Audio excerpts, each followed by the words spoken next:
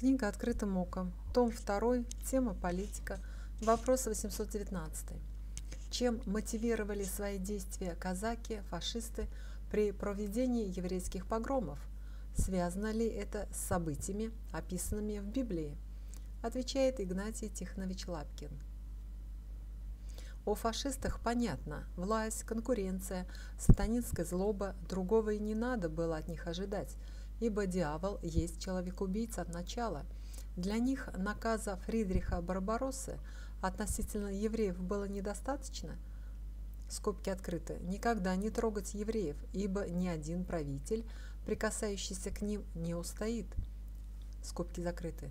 Адольф превзошел все границы здравого смысла и операцию безумия назвал именем Барбароссы, может быть, в пику ему – Разговор о казаках, считающихся православными, у них всегда были полковые батюшки.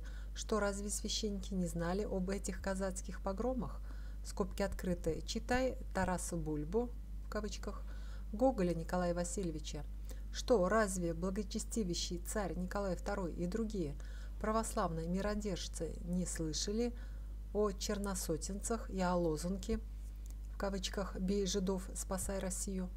Что стоило ему, царю, вызвать министра внутренних дел и остальных высоких военных чинов Министерства юстиции, прокуратуры и судов и дать им нахлобучку, что если еще хотя бы один погром случится, тронут хотя бы одного еврея, вы будете повешены как Рылеев.